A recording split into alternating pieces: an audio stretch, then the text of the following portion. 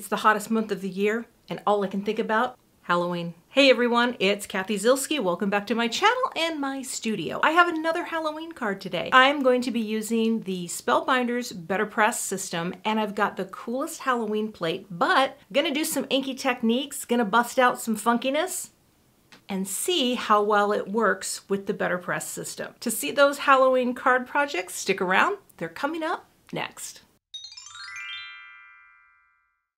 Today I have a voiceover recording, so if I sound a little different and you don't hear all the sounds, there's roofers putting a new roof on. But here are the things that we're using. I got stuff. Let's get into the project. So I'm starting out here using the Distress mica stains, and I thought this would be cool to have all three of the classic Halloween triads together on a panel. And I added a little water to this, right, because I thought maybe it will get them moving a little bit. And once I had layer one, I brought the heat tool to the paper and facilitated the drying. So once that was mostly dry, I'm bringing in Hocus Pocus, another Distress mica stain. And again, hitting it with some water and facilitating the drying with the heated tool. I don't know if I needed to dry it every time, but you know, this is what I'm doing. And the shine on this, it's so hard. To, well, you can kind of catch it there on the left, but it's beautiful.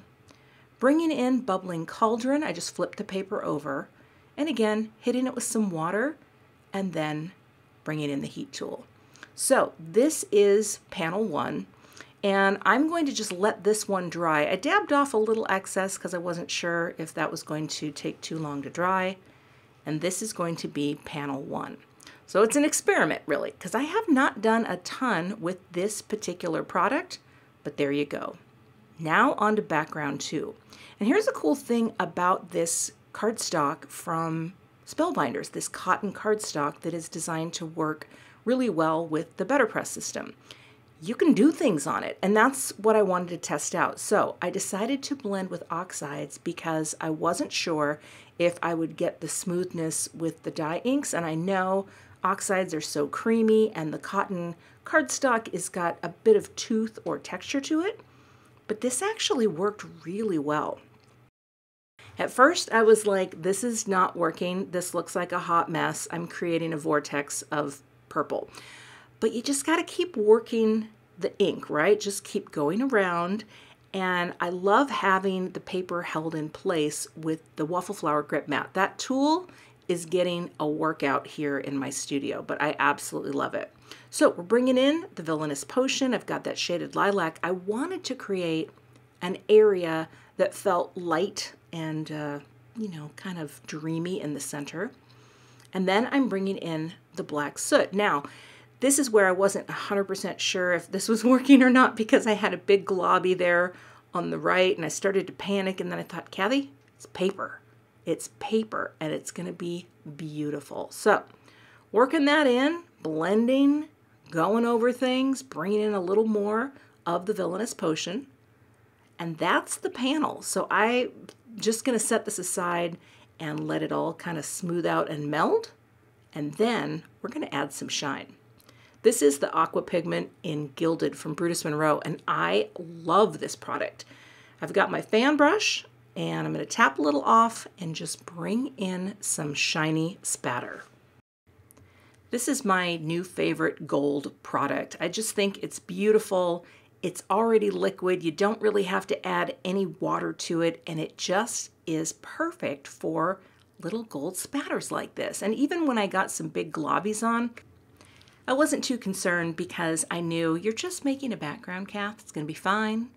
Kind of dabbed it off there, and there it is. And the shine is out of this world. It almost looks like a galaxy, and that really wasn't what I was going for. But now, let's move on to the BetterPress system. So both panels are dry, and look at that shine. Oh, it looks so great.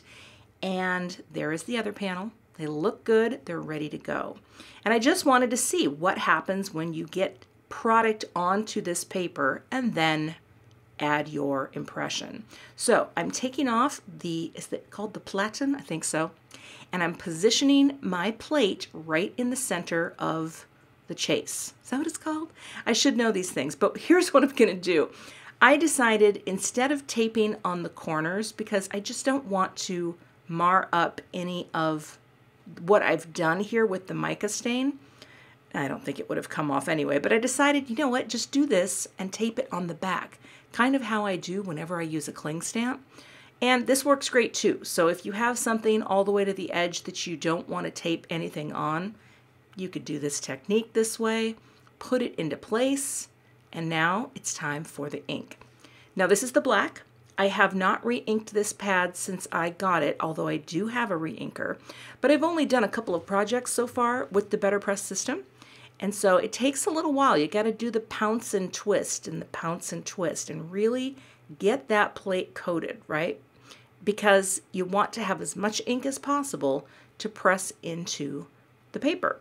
Now, because this paper has a layer of mica stain on it, I really wasn't sure how dark it was going to be, but this is why we play, this is why we experiment. So putting the platen back on, I've got my Spellbinders Platinum 6 machine, and I'm just gonna run it through.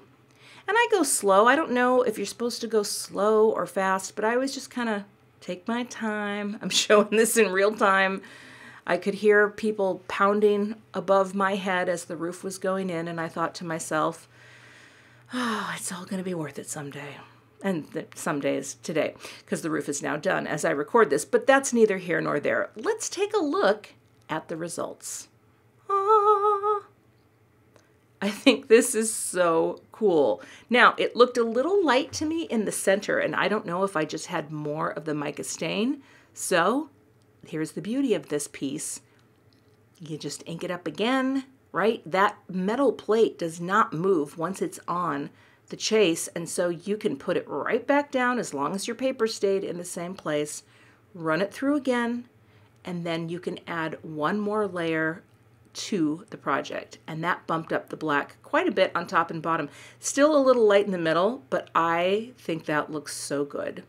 All right, let's move on to the next panel because we are going to do the exact same thing essentially. So inking up the plate, popping on the purpley background, again taping it into place in the same manner, running it through. I You could have put tape on the corners. It would have been just fine, but look at that. I love that so much. Like it's I wouldn't have expected something that really did look more like a galaxy once I was done to be so cool for a Halloween vibe. And again, I did it twice. I think just to test out, does the metal plate really not move? Yeah, it really does not move.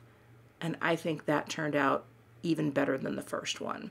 Now, it could have been because the mica stain, you know, has more property to it somehow, but to clean off, I started with a little water, but water doesn't really do much, so I just brought in some Ultra Stamp Cleaner from Simon Says Stamper Ultra Clean.